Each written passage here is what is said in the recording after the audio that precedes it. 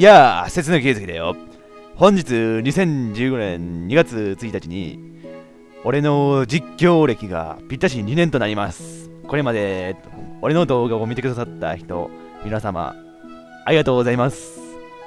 えっ、と、3年目も頑張っていきたいと思うので、えっ、と、気違いになって、楽しんで実況していきたいと思います。ので、これからも実況の方、見てくださったら幸いだと思います。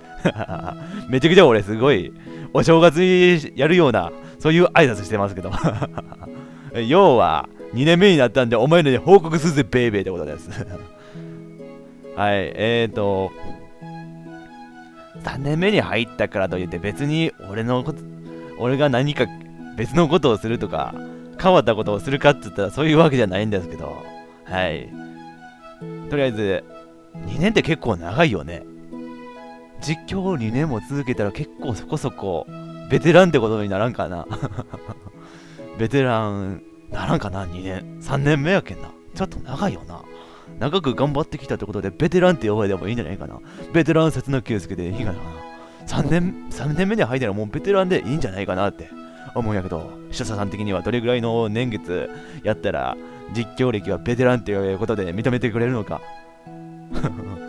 4年ぐらいやらんかったらあかんのかな まあいや、長い人おるけんな。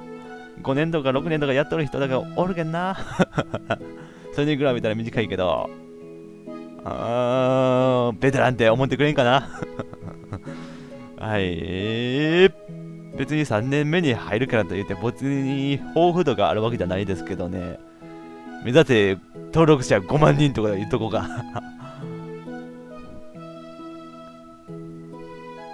はい、と言われて、まあ、特に何か報告するわけで、これがもう、3年目に突入しますっていうか報告であって、それ以外の特に報告はないんやけど、まあ今回の動画は短くこれぐらいで挨拶程度に終わらせていただけたと思います。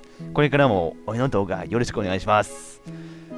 コメントはちゃんとこまめにやってほしいと、コメントは見ているので、返信もしているので、毎回毎回コメントをしてくださったらありがとう、ありがたいと思っております。